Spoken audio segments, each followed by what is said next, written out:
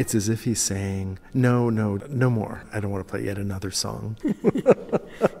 You imagine that he's been singing and playing the flute so beautifully that his audience is asking for more. Well, look at the pleasure on his face. He looks so self satisfied. He's just turned away. His hand is up.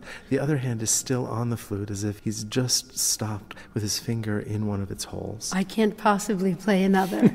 or he could just be pausing in his singing, which is a standard type that we see in 17th century Dutch painting. The thing, of course, that carries this painting is its brushwork, its sense of informality, its sense of the momentary, the way in which the fluidity of the artist's hand moving through this canvas and the motion of the figure himself are so beautifully brought together. Oh, I thought you were going to say what carries this painting is the feather.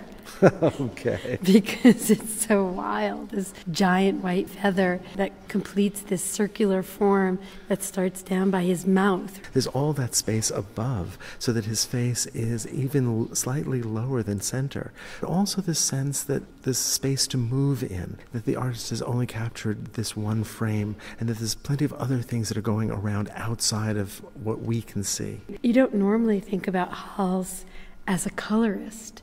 But the colors are fabulous in this painting these mauve purples and the blue of his sleeve that just comes out a little bit around his wrist, and touches of blue in the green on his left shoulder, and then touches of bluish white around his wrist. All of which tends to highlight the ruddy, warm color of the flute itself and, of course, of his cheeks.